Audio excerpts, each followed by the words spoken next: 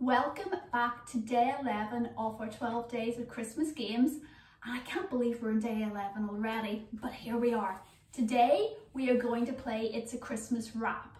And for that you're going to need some wrapping paper. It can be on the roll still like this, or you could decorate a bucket, or maybe even just use a present that you have already wrapped. Because what we're going to get our dogs to do is wrap around the Christmas wrapping. Now, you can teach this using shaping or luring, but for today, we're going to lure it.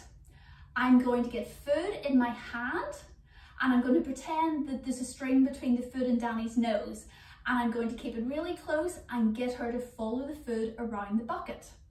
Once she does that and is getting good in that, I can speed it up and I can also think about removing the food from my hand so that she just follows my empty hand. And then I reward at the end. As she gets better with that, I can start to reduce my hand movement and then even add the verbal cue, remembering that when you're adding the verbal cue, it's the verbal cue and if they don't do it after a couple of seconds, you then give them the hand cue for it. A great way to set them up for success when you get to that stage is do a few reps with your hand cue so that they know what's expected before introducing it with the verbal cue. That makes it more likely for them to know what's expected and to build that association with the new cue a little bit quicker. So let's get started. I love this game because you can play it inside or you can play it outside. You don't need a lot of equipment or a lot of space. It builds a great relationship with your dog and it's just plain fun. So food really close to their nose, get them to follow around. So I'm basically thinking that that food is attached to Danny's nose on a string. And then we will get her to go the other way. And as they get better, you can speed it up and nearly even get them to be chasing you. Good girl. Oh my goodness.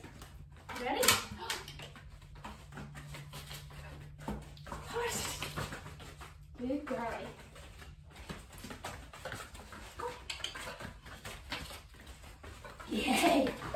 Oh, where'd that go? Find it? So she's doing really well, even though she wants to play paws on the bucket as well with the food in my hand.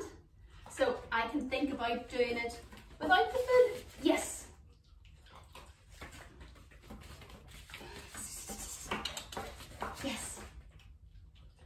and do it the other way. I've had in it. There we go. Yes, good girly. So you can see how much fun that can be and how quickly your dogs can pick it up. If your dog's not done this before, you may have to feed them two or three times when you go around the, the bucket at the start. It just really depends on them. As they get more experienced, you can start sending them to the bucket and then coming back to you. So you're actually building distance between you and your dog and that helps them with independence and their confidence as well. And then when you start getting up to expert level, you can set out two of them so you can send them around one and then the other with you in the middle. So it's like a figure of eight.